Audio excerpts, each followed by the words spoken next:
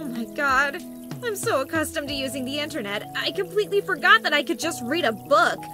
This is so embarrassing. Please don't tell anyone about this.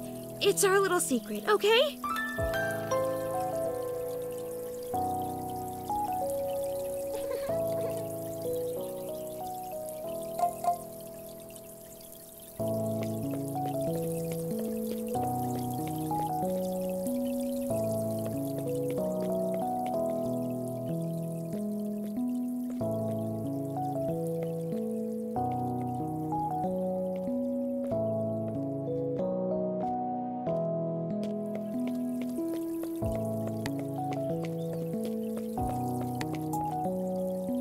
Ha ha ha!